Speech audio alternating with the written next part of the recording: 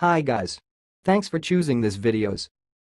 Well, today I will demonstrate how pronounce this word. Let's get right to the it. QuickSSL. QuickSSL. And one more time. QuickSSL. QuickSSL. That's all, thanks for watching, if you liked this video, please subscribe to my channel, if you want to share your opinion, please leave comment for this video, thanks and goodbye.